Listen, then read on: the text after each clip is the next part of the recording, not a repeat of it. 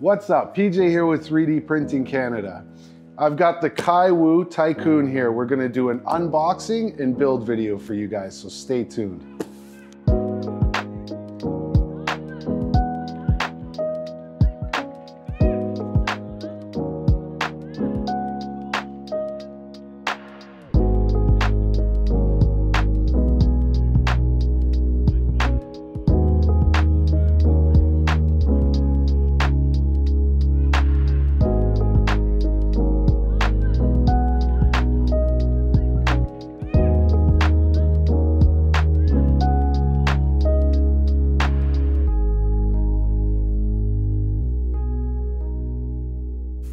After doing some reading and some research online, this printer comes with a build volume of 240 by 240 by 230.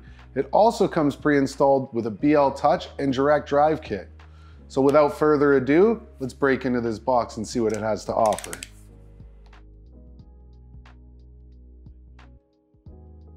User manual. Oh, look at that. My favorite, glass. It's got the silicone side for your PLA and your smooth side for everything else. I give you a small roll of PLA to get started. Accessory box. All right, now the good stuff. We got one layer of foam here. It's your main gantry. And then last but not least, we've got your build plate and power cable.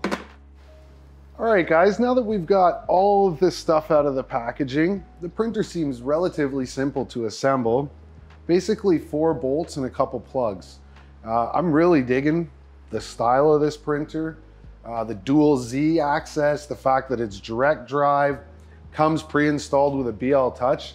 They really did a good job there. Um, they've got everything came nice and greased up. So, so far. Okay, so the first step we're gonna take here is to take our side cutters that were provided in the kit and remove the zip ties here, holding everything down. Let's get all our cabling out of the way, that way we don't crush it. The next step, carefully take your base plate go ahead and move the bed a little bit forward here and slide it in.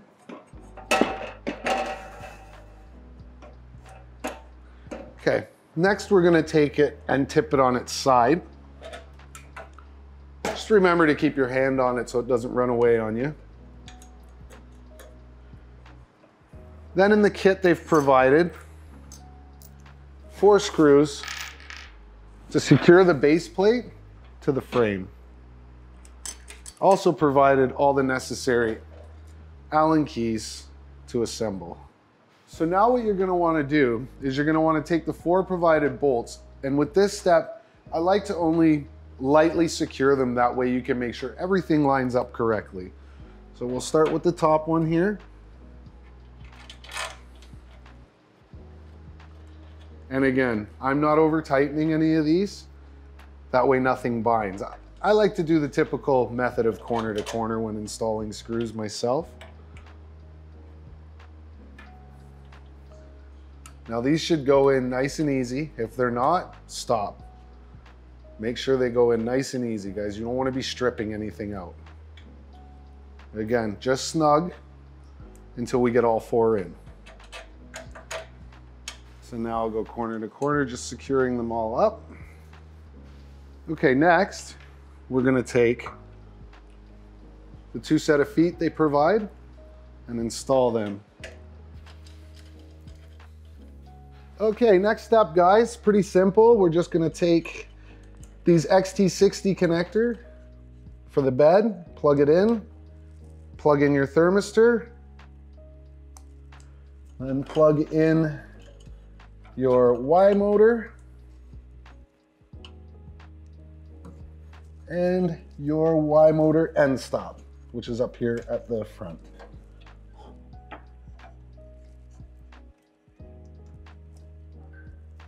Okay, that was pretty simple. I'm actually really impressed with how easy this printer is to go together. And let's not forget the fact that it has a BL Touch already pre-installed. Okay, last but not least, guys, we just gotta install the uh, spool holder and the glass bed. And then we're gonna fire it up and uh, give it a go. You're just gonna take your spool holder and the T-nuts, align them in there. You wanna make sure those T-nuts spin as you're tightening so they grab the 2020 extrusion and tighten down. There we go, wonderful. And then again, take a look on the other side and make sure that T-nut is actually spinning. There we go, and grabbing. Great, next, we're gonna take the spool holder, install it. Pretty straightforward, just a little twist on. And your bed, nice glass bed here. And they provide the clips, the binder clips to hold it down. Now, I'm just gonna install one here on the back. Basically all four corners you wanna install your binder clips on. Okay, just to give you a little look under the hood of this. Now there's a few screws I pre took off just because I didn't want to bore you guys with unscrewing things. They really kind of went the extra mile here to make things accessible. So that just slides off. Can unplug your screen cable here. Give yourself a little more room to work on things here. Look at that, they left you all kinds of room. Just unplug your screen cable. You've got your board, really easy to access things. You know, I, am really impressed with this printer so far. I think they've done a wonderful job with the dual lead screw, uh, anti-backlash nuts, smooth rods, uh, BL Touch. Th th this is really good so far. I'm actually really impressed. It also has a Meanwell power supply. One thing I want you guys to focus on before you go ahead and plug your printer in and turn it on is the power supply itself on this side here, now it comes with a switch. So you either got your 110 or your 220. They definitely, because of being in China, have it on 220. You're gonna go ahead and switch that to 115. Also guys, they did a Makerbase 32-bit board, so that's another wonderful feature. I wanted to show everyone underneath the hood of the hot end as well. It has a unique extruder. So I'm just gonna pop this off. It's held in with set screws. This extruder is also your heat sink. It doesn't have an all metal heat break in it. That is the only thing it is lacking. Mind you, most printers do not come with all metal heat breaks. It's something you install as an upgrade. Uh, upon inspection a little bit closer, it looks like to me we might be able to work in some type of Kraken all metal heat break. So you'll still be able to get that all metal functionality. They've really kept everything nice and tight neat and tidy. Filament runout sensor. I love the fact that they put a wheel on the extruder gear so you can go ahead and turn your filament in if you're having a little bit of a problem getting it in. All right, so we're about to turn the Tycoon on for the first time. And she's powering up. Actually, something pretty interesting here I just noticed. As the BL Touch turns on, I've never noticed one that actually looks like the blue light and the red light are 50-50. That's pretty neat. All right, so let's go through some of the touchscreen functionality here. You got your tool section, you get your preheat, your extrusion, your auto level, filament, more, home, back to go back to the previous screen and move for moving the axis. So you wanna move an axis, can go ahead and select from one millimeter, 10 millimeter, and 0.1 of a millimeter. So let's go ahead and just uh, move the Z-axis up by 10 millimeters. Let's do an auto home. Okay, we'll go into the preheat function. You can go ahead and add for uh, add and decrease your temperature. You can go ahead and hit this button here. It'll switch to the hotbed. Again, you can plus or minus. Can have it go up by 1C, 5C, or 10C. You can go ahead and close the power to anything that you've started up with that. and then your back arrow to take you back. You have um, loading and unloading screen. So in and out, how much. Um, we went through the move, we've got the home page. All right, so my first impressions of the Kywoo Tycoon, I'm impressed guys. I have to say this printer, they've taken a few extra steps to make it really nice. Really simple setup, uh, really nice touch screen, Meanwell power supply, BL touch, direct drive extruder. You really can't go wrong. It has a lot of features. Just the simplicity of moving this printer around, um, the rails, everything about it, I'm, I'm impressed guys.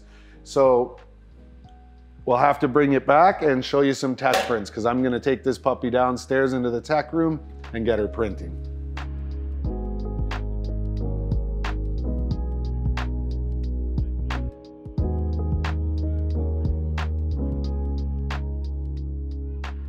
We've just finished some prints here. As you can see, we got ourselves a little MatterHackers astronaut. And just with generic slicer settings, nothing fancy, it turned out really nice.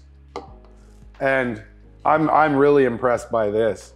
It printed TPU like a champ. I'm actually shocked. The supports came out with my fingers. Uh, there's definitely barely any flaws in this mount at all. I'm very impressed. This is a GoPro Hero 8 mount for a Stinger V2 frame for an FPV racing drone. And then we got something here in vase mode just to test it uh, overall with the height. And again, I'm actually, we can pull that off there, I'm actually pretty impressed again.